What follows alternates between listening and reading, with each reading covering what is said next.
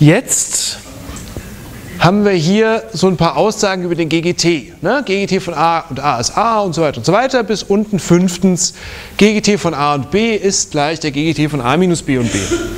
So, jetzt zeige ich Ihnen das Verfahren zur Bestimmung des größten gemeinsamen Teilers zweier Zahlen, das schneller funktioniert als die Primfaktorzerlegung.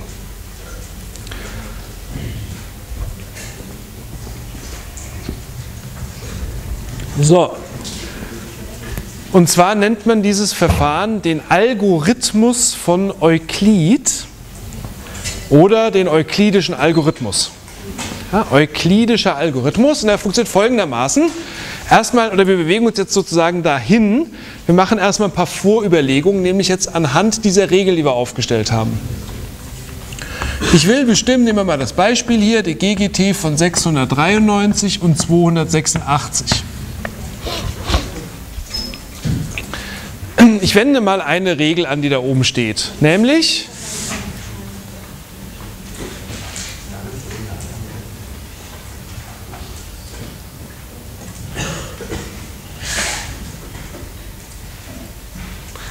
Nämlich, ich wende mal die Regel 5 an.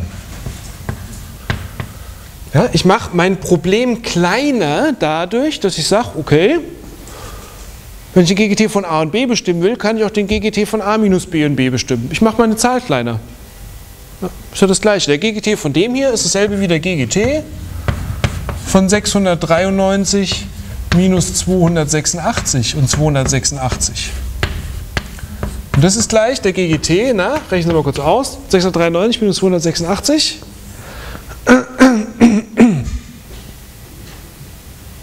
Ja? 407, genau. 407 und na, 286. So, wie könnte ich weitermachen? Ja? Nochmal das gleiche, genau. Nochmal, ziehen wir nochmal ab hier. Fünftens. Hier GGT, selbe wie der GGT von 407 minus 286 und 286. Was kommt da raus?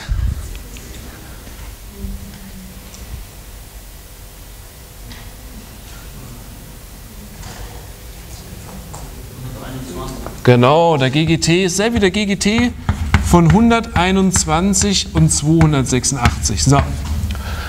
Jetzt könnte ich wieder abziehen, mache ich aber nicht, weil ich will keine negativen Zahlen haben. Was könnte ich stattdessen machen? Ja?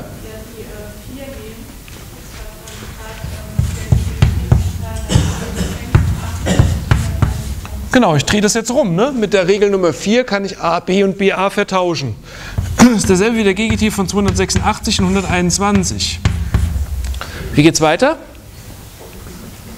Welche Regel wende ich jetzt an? 5, genau. Ich ziehe 121 ab von 286. Ich ziehe es mal gleich ab. Ne? 286 minus 121 ist 165. GGT von 165 und 121. So. Welche Regel wende ich jetzt an? Nochmal die 5, oder? Ich kann 121 nochmal von 65 abziehen. Dann kommt raus der GGT von 100, Quatsch, von 44 und 121. So, was mache ich jetzt? Ja? Wieder rumdrehen. Ich tausche wieder, ne? Ge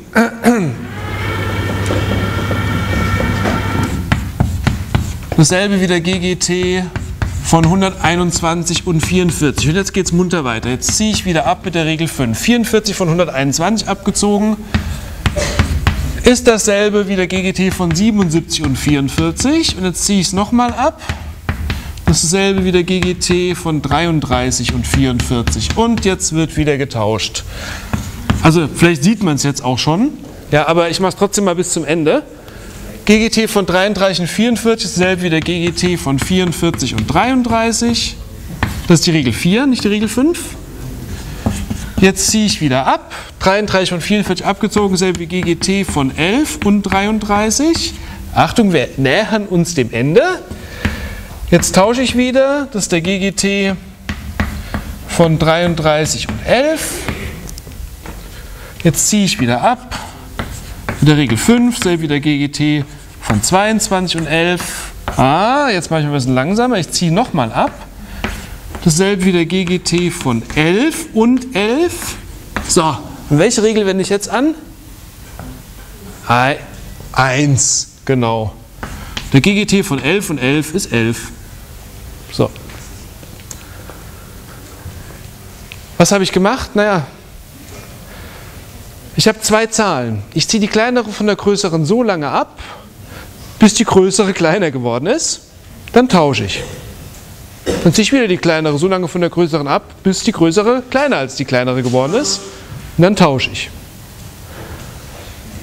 Und irgendwann komme ich zu dem Fall, zu einem der ersten drei, sagen wir zu 1, ja. Ich hätte jetzt nochmal die 11 von der 11 abziehen können, dann hätte ich letztlich den GGT von 11,0 gehabt, das wäre auch 11 gewesen. Ja, hätte ich Regel 3 anwenden können. Also ich komme dann, nachdem ich 4 und 5 ständig angewendet habe, irgendwann zu einem Ende. Das Ganze ist rekursiv. Ich wende den GGT, diese Regeln hier oben an, 4 und 5. Letztlich im Sinne einer Rekursion wird das Problem, das ich behandle, immer kleiner, so lange, bis ich auf ein Ende stoße und ich dann eine der anderen Regeln ganz einfach anwenden kann hier und bin fertig. Ja? Wenn ich das sehe, stellt sich mir die Frage, ob es bei so großen Zahlen wie die Zahl oder Ja. die einfachste Methode ist, für tun. Ähm, ja, also es ist, ja, wenn Sie eine, zwei große Zahlen haben, Sie haben nochmal so eine große Zahl, Sie ziehen die eine von der anderen ab, dann haben Sie auf einmal eine sehr kleine Zahl. Ja, ja, aber wenn ich so eine hätte und nochmal so eine, nur, oder was weiß ich, ein paar Ja. weniger, dann rechne ich ja. Okay, was Sie meinen wegen Abziehen. Ja, Genau. Das Abziehen müssen wir schneller machen. Sieht jetzt jemand, kann jetzt jemand die große Synthese dieser Sitzung machen? Was nervt? Das Abziehen. Das ständige Abziehen immer wieder derselben Zahl. Was ist das, was ich da tue? kann man das so weit multiplizieren, wie oft das die, die kleinere Zahl reinpasst, dann wieder umdrehen und dann wieder die größtmögliche multiplikative Zahl Ja, die kleinere Zahl so oft da reinpacken, wie geht und dann umdrehen. Was ist das? dividieren mit Dividieren mit Rest. Ich dividiere die große, Geld super. ha, ja. Oh, ja, da. Wahnsinn. Jetzt, äh, ne? Also ich, ich dividiere die große Zahl durch die kleine mit Rest. Ich gucke, was für ein Rest kommt raus. Pass auf, mal folgendes.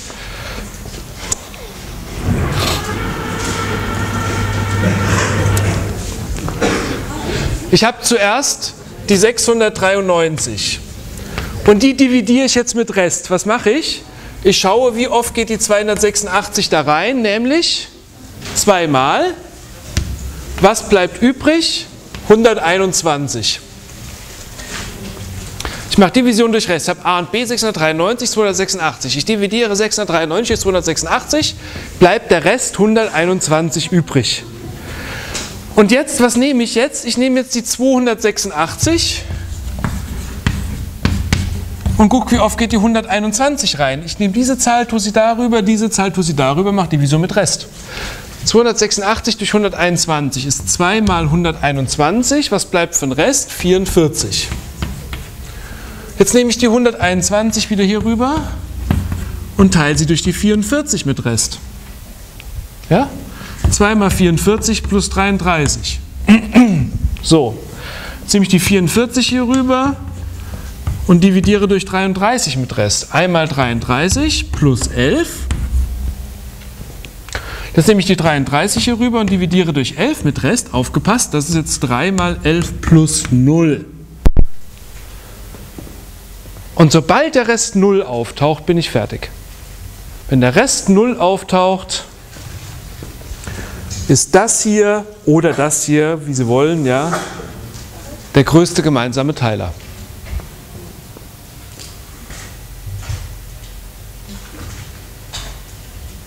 Ja? wenn man nicht auf Null kommt, hat es dann keinen. Dann. Doch, doch, doch. Wenn man, man kommt am Ende so jetzt immer auf Null. Warum?